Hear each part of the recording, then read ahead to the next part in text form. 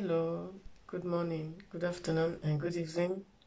Wherever you're watching me from, I welcome you back to this channel. I bless you all with the blessings of the Lord. I would like to say a very big thank you for watching my video, liking and commenting. And I especially want to say a very big thank you to you all my new subscribers. May God bless you. You are really highly welcome to this channel. I appreciate your love. I appreciate your support. Thank you for subscribing to this channel. May God bless you. So, in today's video, we are going to be reading from the book of Genesis 25. Yeah, Genesis chapter 25 from verse 29 to from verse 29 to 34 and then we will also read from the same Genesis, chapter 27, from verse 2, 6, 7, 8, 9, 17, 25, and 27. We really have a lot to discuss today, you know. So we are going to be discussing about Jacob and Esau. Everyone knows in the Bible how Esau sold his birthright to Jacob, who happens to be uh, Esau was the firstborn and Jacob was the second. They were twins, but Esau was the one that came out first. And Jacob came out after Esau, you know. And we are going to be discussing how he sold his birthright to his younger brother, which is Jacob. So the Bible made us to understand that Esau sold his birthright his inheritance, his destiny, his future, you know, everything, everything that the Lord was supposed to give to him.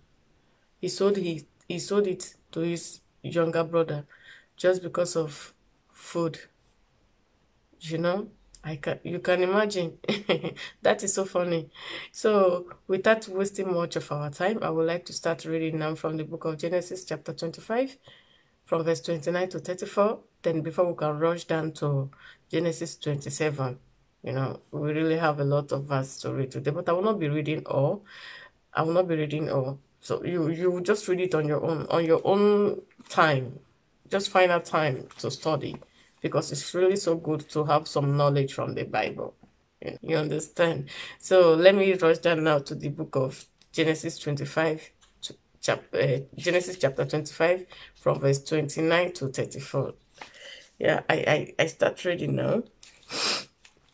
He said, One day, while Jacob was cooking some beans, Esau came in, in from hunting. He was hungry and said to Jacob, I am starving. Give me some of that red stuff.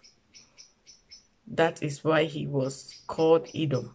Jacob answered, I will give it to you if you give me your right as the firstborn son. Esau said, All right, I am about to die. What good will my right do me then? Jacob answered, First make a vow that you will give me your right. Esau made the vow and gave his right to Jacob. Then Jacob gave him some bread and some of the soup. He ate and drank, and then got up and left. You see, so this was how Esau sold his birthright just because of food, something to eat, something that he could have prepared by himself. Yeah, I know that he was hungry, he was tired because the Bible said that he came back from hunting, hungry and tired. He saw his brother cooking some food and he requested to eat um, part of the food. Just a little. Can you give me something to eat? I'm hungry, I'm tired, Esau said. But Jacob, being so wicked, he was angry because of the, the blessing he saw on his brother. He was angry because his brother destiny his brother have more star than him so he requested for for the brother to exchange those stars those blessing those great future just for something to eat esau being very hungry he accepted to exchange his destiny for food. You know? Just be very careful what you do when you are hungry. Be very careful in some situation. Just make sure you think about make sure that you think about what you are about to do. See them, reason it. Is this thing going to profit me? Is it not going to profit me? Because you might make some mistake just like Esau did in the Bible. I know Esau could have prepared this food by himself. He could have at least drink some water, have some rest, and then before he can proceed to make his food. I know that some food takes time and it's not all food that takes time to prepare. He could have prepared some just easy one to eat, but he decided to exchange his destiny, his future, his purpose, God favor in his life just because of something to eat. He lost his destiny, he lost his future, he lost his purpose. So let's quickly rush down to Genesis because as I said before, I said we are going to um, be reading so many verses in Bible. So let's not waste much time and let's rush to um, the same Genesis 27 and let's see how Isaac, Isaac was their father. Let's see how Isaac finally gave uh, Jacob the blessing and how Rebecca, their mother, connived with um, Jacob to receive the, uh, the blessing from from Isaac, the blessing that was supposed to be Esau's blessing.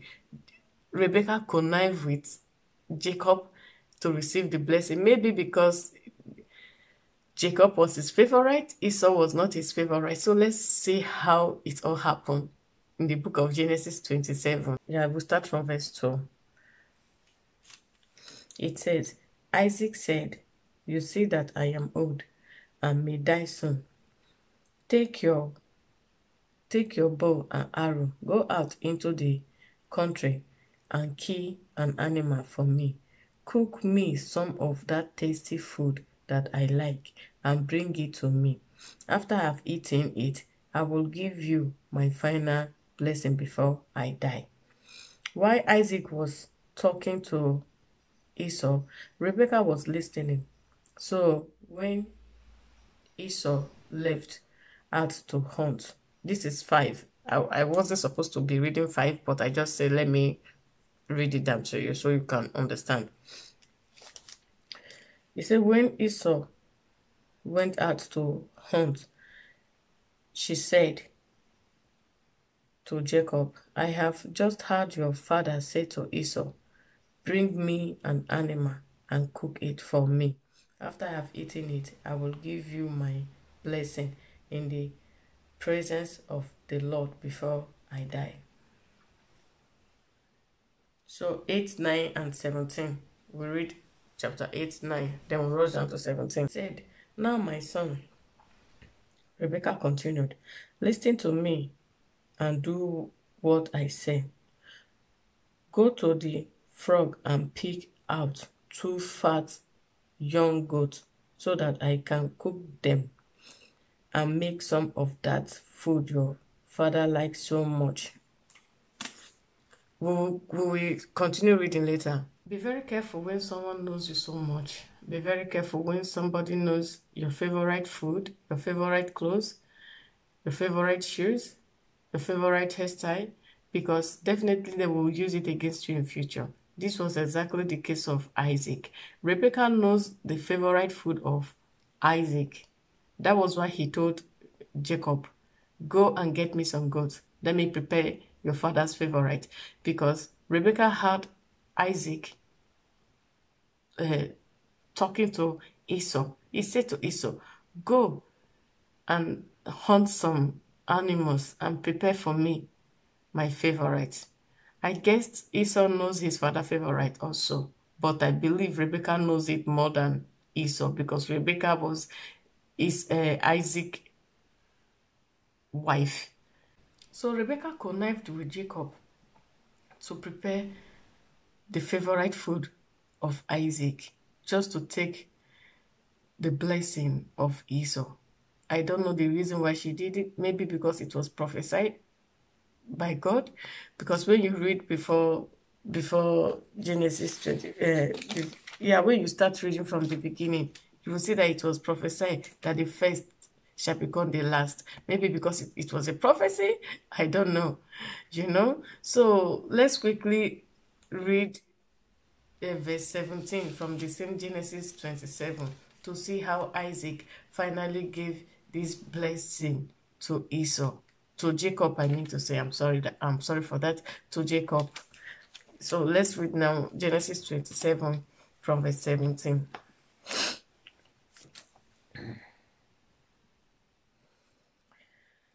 It says, She handed him the tasty food together with the bread she had baked. I, I jumped down to 25 now. Isaac said, Bring me some of the meat. After I have eaten it, I will give you my blessing. Isaac was talking to Jacob, not Esau, on, on this particular verse. Please, that is why I advise us all to read everything so you will know because I can't read everything. It's really much. I can't just read everything. It will take me much time. I just break it down and select some parts. Jacob brought it to him and he also brought him some wine to drink. 26. I'm not supposed to be reading here, but let me just put you through. Then his father said to him, Come closer and kiss me, my son. As he came up to kiss him, Isaac smelled his clothes. So he gave him his blessing. Do you know the reason why as Isaac smelled his clothes and the reason why he asked him to come closer? Because why? Esau was a hairy man. Esau have a lot of hair in his body. Why Jacob don't have any hair in his body? So Rebecca gave Jacob Esau's clothes and put in the skin of a goat on top of that clothes. Because why? Esau was a hairy man, while Jacob was a smooth skinned man. So the father now asked him to come closer, to touch him, to know if really Jacob was saying the truth. But when Jacob was speaking to Isaac, Isaac noticed that this was Jacob by voice, but this was Esau by touching his skin. You know? My prayer for us today is that God should save us from anything that want to take our purpose in life away from us ignorantly or not ignorantly because sometimes we do something without thinking about it without thinking how is this thing going to end in future? Is it going to be for my good or for my bad? So this was the case of esau. Esau didn't think he was just joking because I guess we all joke like that. I, I, I can remember when I was a little kid, sometime your elder will come and ask you, eh, please, can I have this? Jokingly, you will tell this person, okay, before you will have this, say that I'm the one that senior you. You know, we, we all did that. But God took it so serious with Esau. We have to be really careful of what we say of our utterances you never can tell when God will say, okay, this one, I grab it. You know? So let's continue reading. He said, The pleasant smell of my son is like the smell of a fade, fade which the Lord has blessed. May God give you dew from heaven and make your feed fertile. May He give you plenty of corn and wine May nation be your servant and may people bow down before you. May you rule over all your relatives and may your mother's descendants bow down before you. May those who curse you be cursed and may those who bless you be blessed. Can you just see how Esau lost this great blessing just because of something to eat? Or will I say, is it because of laziness? Or maybe because it was prophesied? Because I, I, I, I don't, I don't, I don't know. I don't know. This was a great blessing. It was a great blessing. So Maybe God has seen that Esau was going to sell his birthright just because of common food Because the Bible said that he knows the end from the beginning. It was prophesied. His mother, his mother Rebecca knew about it. You know. I, I, I really don't understand why someone would decide to sell his destiny, his future, his blessing. Can you imagine all the blessings that Isaac gave to Jacob? Those blessings were supposed to be for Esau. And so funny enough is Isaac cannot reverse the blessing because he has, al- he has already spoken it out of his mouth. Esau was later crying for the blessing. Father, just give me a little bit of this blessing. But Isaac refused because why? He has already poured out everything to Jacob. It was irreversible. God has already seed it. That was how Jacob took what that was supposed to be Esau to himself. But, you know, there's always a repercussion. A repercussion, yeah, I said so. Jacob finally suffered for it when it was time for him to get married. What he, what he was supposed to labor for, I think in seven years, he labored for it in 14 years. So Jacob wanted to marry Rachel. But the father of Rachel tricked him and gave him the sister of Rachel to marry instead of Rachel, just as Jacob and his mother tricked Isaac to give him his blessing instead of Esau. You know, in life, there is repercussion of everything. Whatever you do in life, you think that God is not seeing you, that you have won, because it, it might be going on well for you now. Because you betray your brother, because you betrayed your sister to be that place that you are. You think that God is quiet. God is smiling at you. It's not smiling at you. There is repercussion for it. You will pass through that same pain that you caused your brother or your sister because of your own selfish reason, because of your own selfish desire, your brother or sister might be passing through pain.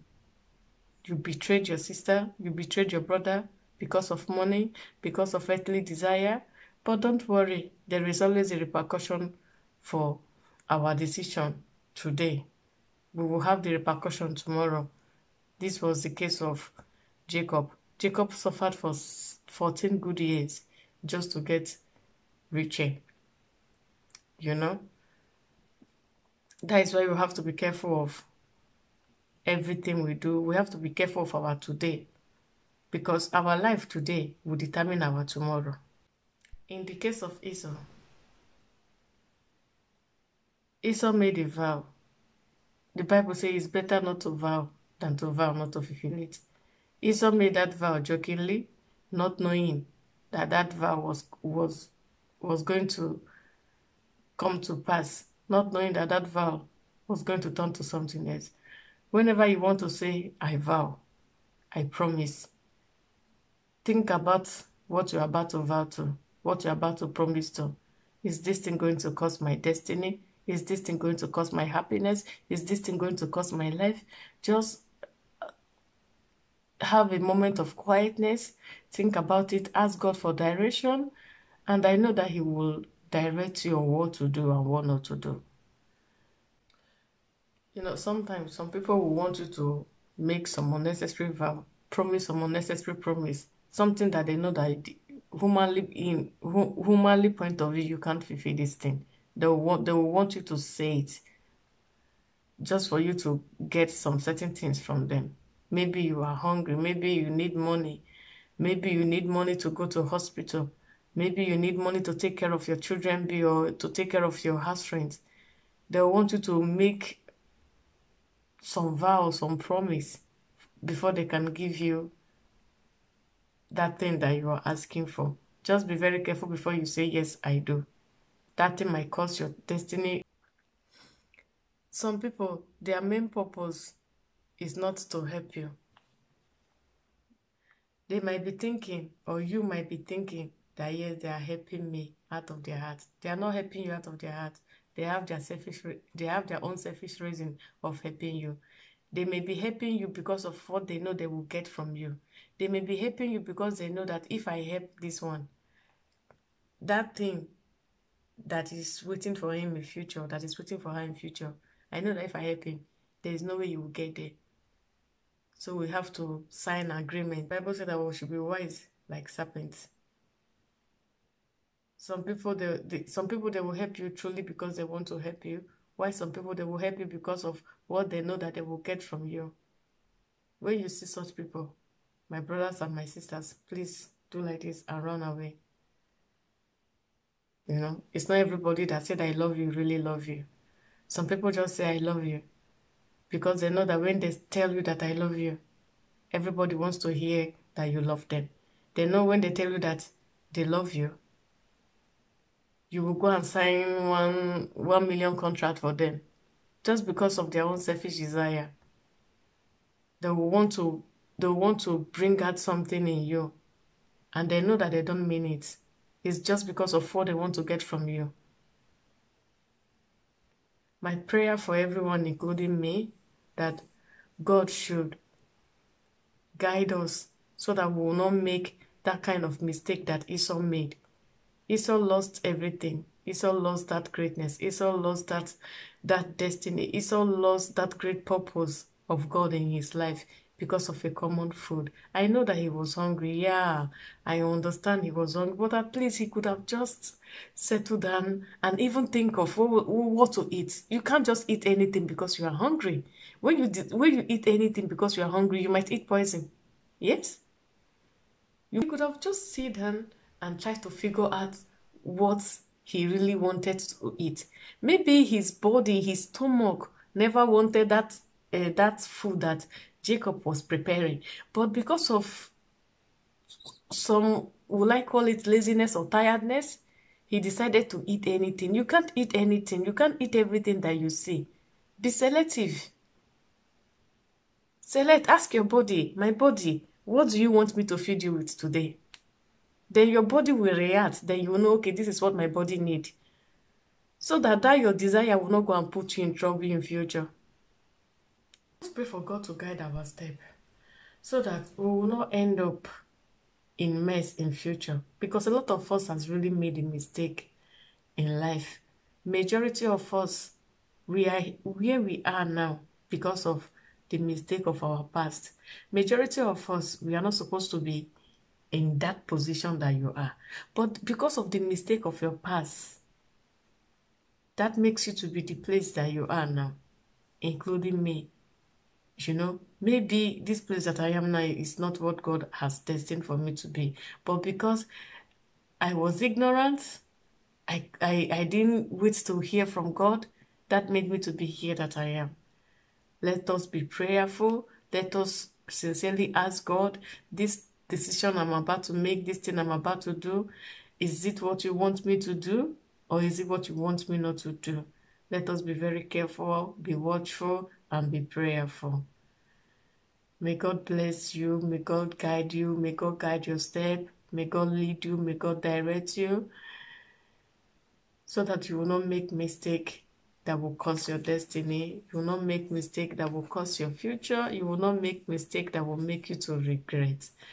I pray for God guidance in our life. Thank you everyone for listening to my video today. I bless you all with the blessings of the Lord. Let us all be watchful. Let us all be watchful because our destiny is really important to us. We all have purpose in life. We all have desire in life. Once you miss that your purpose, it will take the grace of God to for that for that same purpose to come back again. It will really take the grace of God. Once you miss that little chance, that little opportunity, in your destiny. It will take the grace of God. I know what I'm talking about. Before we make some vow, before we promise, before we sign something, let us ask God, Baba, is this what you want? Is this what you want me to do? So that we will not end up making that great mistake in life. I want to say very big thank you all. Thank you all. Thank you, everyone, my new subscribers, my viewers, everyone. May God bless you and may God lead you. Thank you for watching this video. May God really bless you. And please don't make mistake that will cause your future. Stay blessed, remain blessed, and be blessed. Thank you all, and I will see you all again on my next video. Bye.